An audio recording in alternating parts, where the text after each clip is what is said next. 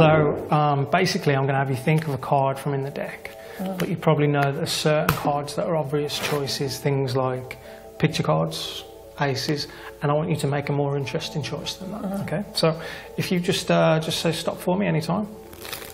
Stop. There.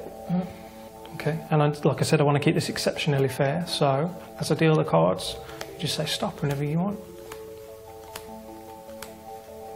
Stop. There. Yep. Okie doke. Take the cards. Give them a quick little mix between your hands. Don't let me see the faces though, so keep them up like a poker hand. And then just spread them out so you can see the faces. And I just want you to think of an interesting card. Like I said, you know, aces and picture cards are kind of obvious. Okay, so you got one? Mm-hmm. Okay, put the cards face down on the table. Perfect. Right. Now I'm going to ask you to send that card to me. We're going to do it a stage at a time, a bit like a jigsaw puzzle. Okay.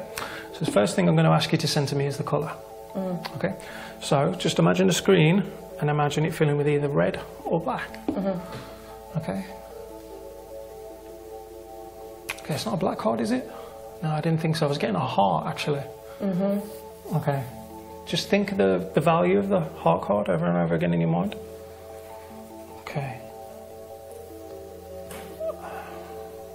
I can see eight, but then there's there's two in the corners. The card you're thinking is the ten of hearts. It is. Are you a mind reader? oh my god.